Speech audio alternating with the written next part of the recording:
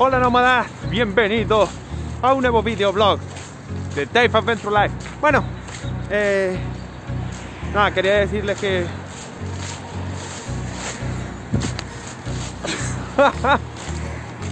el otoño, el otoño.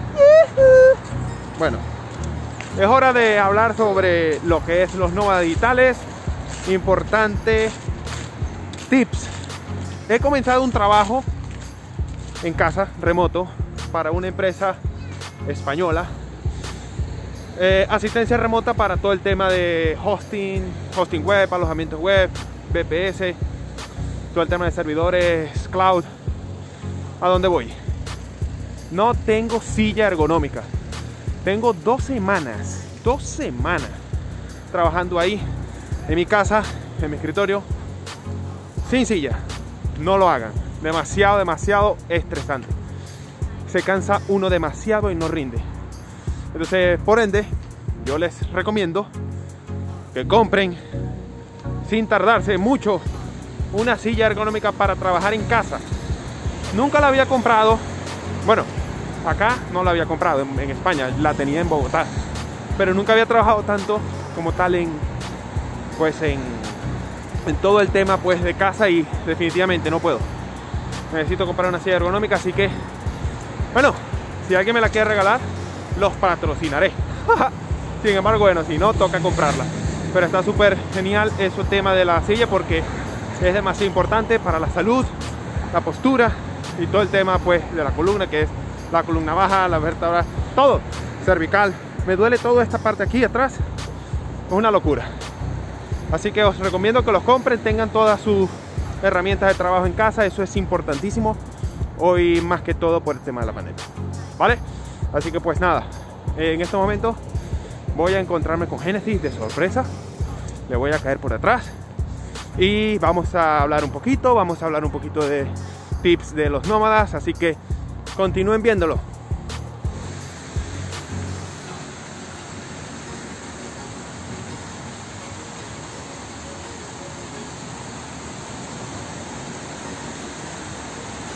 Ok, Genesis debe estar por algún lado. No sé si habrá llegado. Me dijo que ya venía en camino. Que nos íbamos a ver un chorro por allá. O cascada, waterfall, whatever that you want called. But la noche se está acercando y creo que nos vamos a quedar sin iluminación. Tengo que comprar aquí una lámpara que nos ayude pues a todas las tomas nocturnas, es primera vez que la hacemos. Entonces, pues, ¿dónde estará Genesis? Vamos a ver. Ok, chicos, quería compartir con ustedes este atardecer. No se ve muy bien, la cámara no me está ayudando. Hoy me vine sin todos los equipos necesarios. Pero ya Genesis tiene que estar por algún lado. ¿Dónde anda? No la veo. Pero nada, quería grabar este atardecer para ustedes. Creo que es esa que está ahí.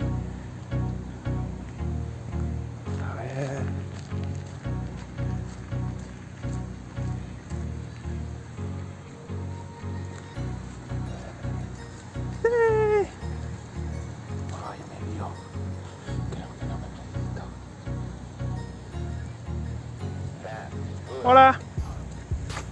Sorprende. ¿Qué talco?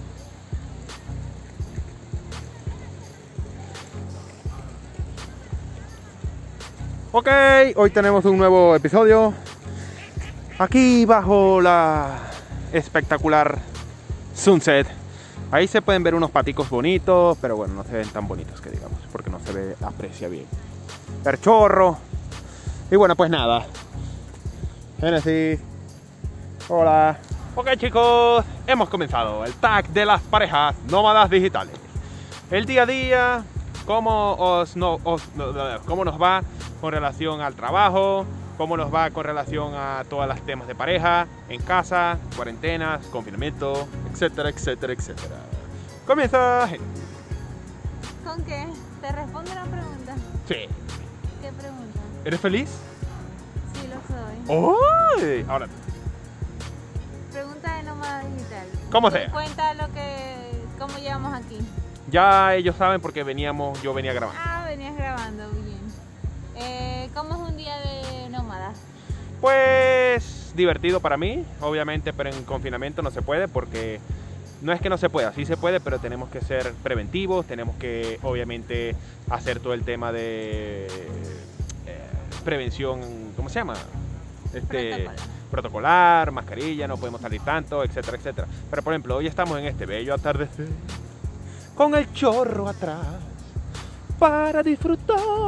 Ok. Pero no es confinamiento, estamos trabajando ya. Sí, Genesis comenzó a trabajar gracias al Señor y yo también, como les estaba comentando, pero este es divertido, pero a la vez es chimbo porque no se puede trabajar. Entonces, perdón, no se puede salir como antes, no podemos viajar. Sí se puede, pero nosotros tenemos una cuarentena voluntaria.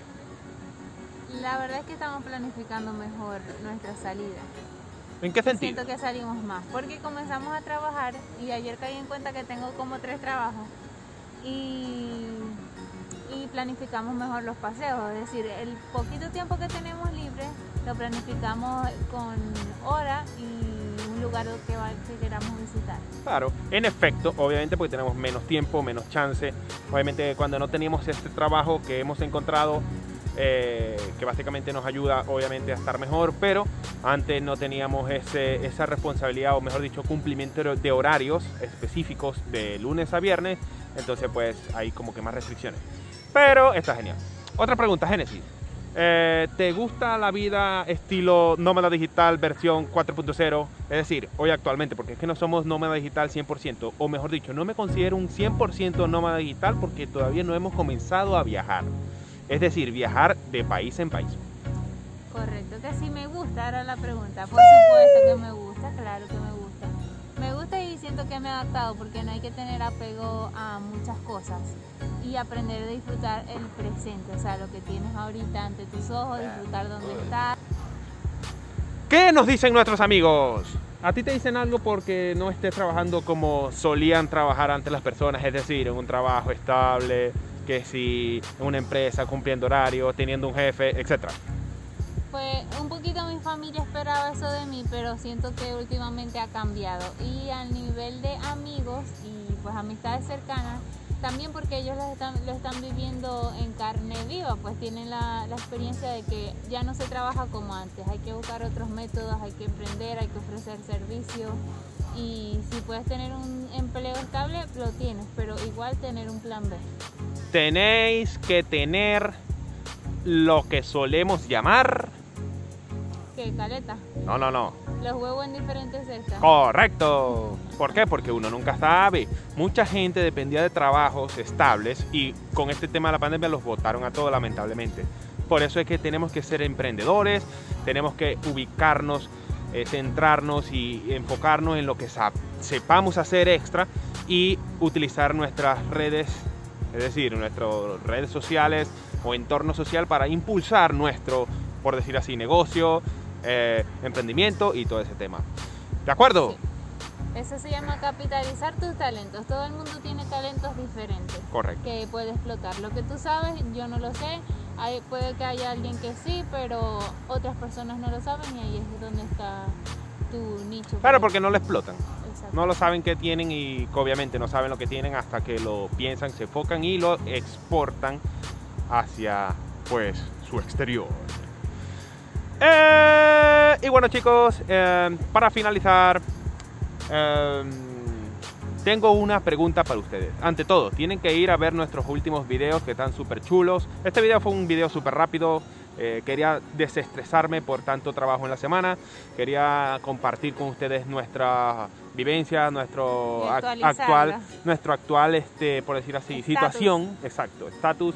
Y eh, pues nada, estamos súper felices, súper contentos. Y gracias a todos por apoyarnos, como lo están haciendo. Por ahí en Instagram hay unas encuestas, perdón, unas preguntas que si quieren las hacen, o sea, un estatus de estatus. Ah, una his- historia para preguntas. Así que los que quieran preguntar, siéntanse libre, cualquier cosa, ¡plux! y nosotros les responderemos. Así que si tú lo haces, Yo también. ¡yeah! ¡Hasta luego!